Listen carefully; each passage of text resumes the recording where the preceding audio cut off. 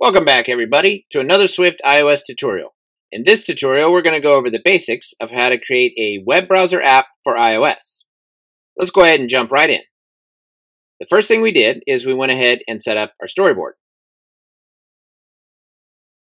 So we searched for WebKit View and we dragged that onto the storyboard. Now notice that the web view is deprecated. So you would probably want to use the WebKit view. Then we added two buttons, the back button and the forward button. Then we went ahead and hooked up everything from the storyboard to our code. Here, here, and here. The web view is an outlet, and the two buttons are actions or functions. And just a quick reminder, to hook up things from your storyboard to your code, you can click on it, hold down control, and drag over. Okay, so for our back button and our forward button, what we've done here is reference the WebView outlet, and to go back, we use dot go back. For the forward, we use dot go forward. The next thing we did is we create our URL. We put that inside the view did load. So for the URL, we create our constant. Then we use URL. Inside the URL brackets, we go ahead and put in our URL string. Then we use the WebView outlet dot load.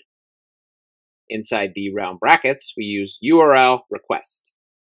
Then inside those round brackets, we put in the URL that we created here. Now, a quick note, as we mentioned, in this tutorial, we're just going to show the basics. If you were to create an actual app, additional error and corner case checking would probably be needed. However, what we have here should be enough to get you started. So let's go ahead and run it and see what we get.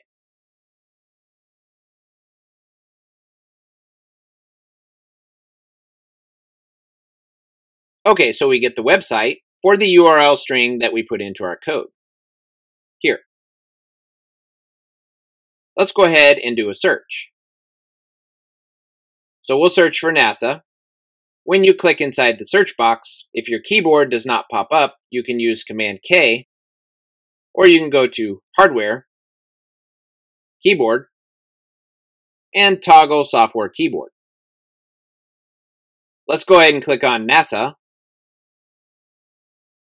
Let's go ahead and scroll down a little bit. And let's click on the NASA website. Let's go ahead and continue to navigate the NASA website. And let's go to Missions International Space Station. Okay, so now let's go ahead and test our back button. So let's click back. Let's go back again. And back again. So the back button is working. Now let's go forward.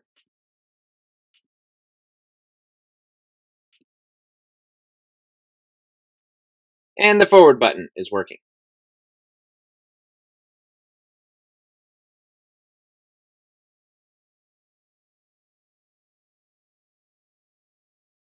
Okay, so that's all we have for the basics of creating a simple web browser app for iOS.